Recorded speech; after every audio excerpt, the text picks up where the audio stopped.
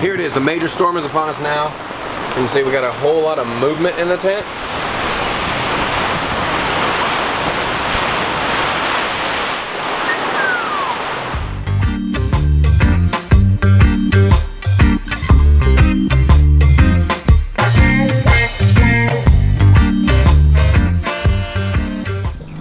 What's up ninjas? It's your boy Fuzzy and we are back at it again with another video and in this one we have headed to the beautiful, beautiful Austin, Texas and specifically Circuit of the Americas where we are going to watch the MotoGP races this weekend and camp out. It's going to be awesome. You guys know from watching this channel that I love motorcycles, all different types of motorcycles, been doing this for a long time and these guys are the best in the world at motorcycle racing so I'm excited. But more importantly we got our 4M bell tent in the mail right before we came down. And even better, which sounds crazy, we are expecting some pretty crazy storms, specifically tonight. We are gonna get to test this tent out for you guys in amazing Texas thunderstorms. Is this thing gonna survive? Man, every review I've ever seen says it does, and I am super excited to see how this night's gonna play out.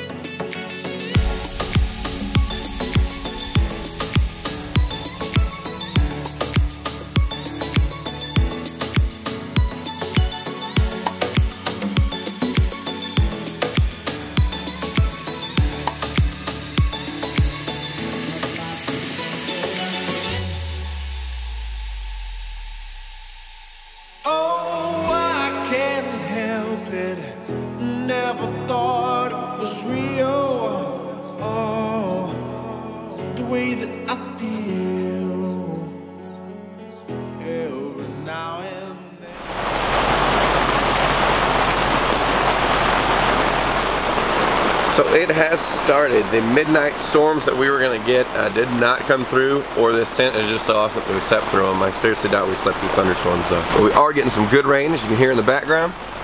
And uh, you can see it. Water is beating and flowing right off this tent, just like it's supposed to do. Uh, this is great, and it sucks. I've got to go potty. now it's pouring down rain. What's more important? couple places where I really thought we would get some leaks, but we are not. Uh, it looks like these vents up top, in the middle, these guys are, I mean, sealed, looking at everything. The smoke hatch, that thing is holding strong. And back here was my real one that I was concerned about. This is where it goes to the outside. That's actually an opening, but it's got that rubber grommet on the outside of it. That thing's doing its job. We got no leaks. Uh, we have survived the first set of storms. However, we do have some leaking now around the bases of the tent, but I don't believe it's the tent's fault. Behind us directly is a road that was just recently graded.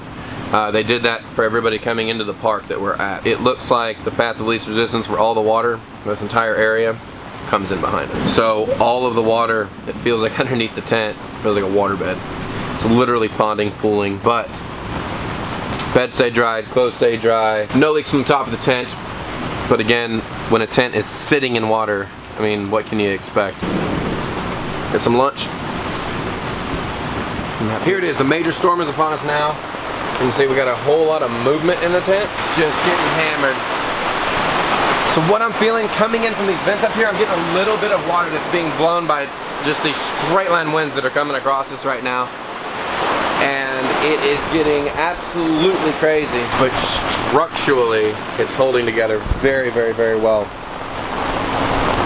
it is nasty it's windy and there's one heck of a storm out there So we did it guys, we survived the storm. That was a crazy storm. Texas did not disappoint at all. The winds were sustained at around 25 miles an hour, gusting to 40 at the peaks of the storm, 40 to 45 they said. The people around us weren't so lucky. Now there's a couple people lost their tents, their awnings, there's a couple porta potties that even blew over. Thankfully I think nobody was inside of those. Um, but it was an incredible, incredible storm. I can't say anything but positive things about this tent. Again, we did have just a little bit of leakage. The road behind us was freshly graded right before we pitched the tent and a little valley in that road recreated itself. No idea any way to know that. Let's take a look inside this thing, guys.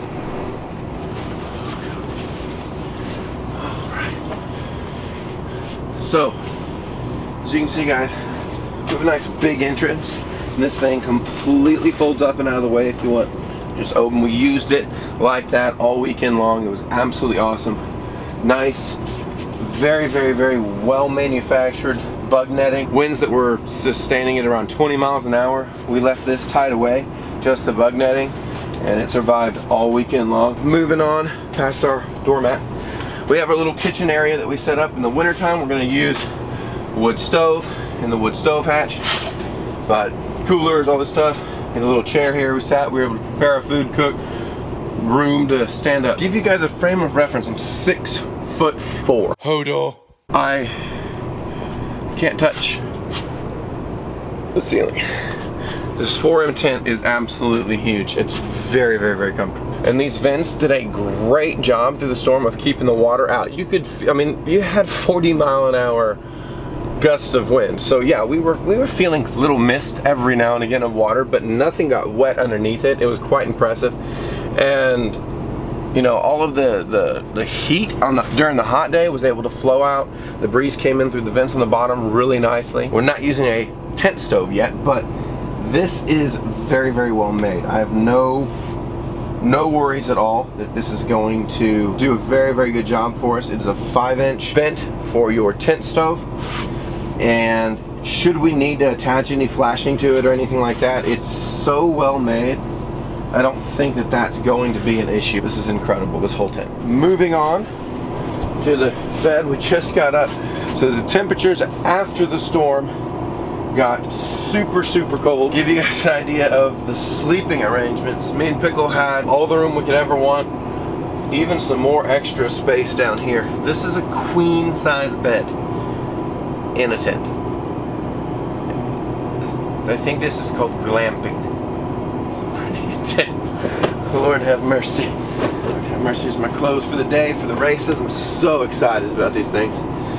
So we got absolutely no leakage through any of these zippers. The only time we had any issue whatsoever was uh, a little bit of leakage through this zipper, which the manufacturer actually advertises that the first real big rainstorm you go to, you can get a little bit of leakage around the zipper there. And as it dries, the canvas will shrink and you will never get a leak again. It has that feel of something that somebody put a lot of time and effort into.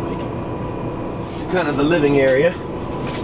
You can see we've got all of our clothes. We've got her bag, my bag, extra water, radio, everything we can want. We can stand up right here and change. This is huge. This tent is big.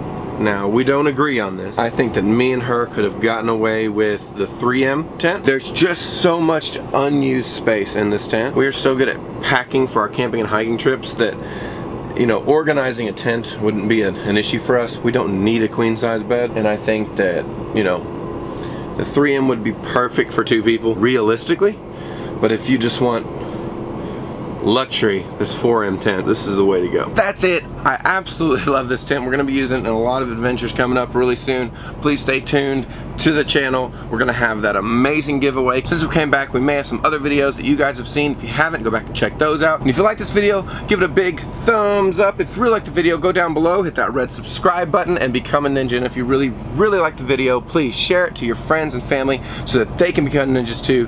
Guys, I appreciate you watching these videos from the bottom of my heart. Thank you so much for the support, and we will see you in the next one. Os. Yeah,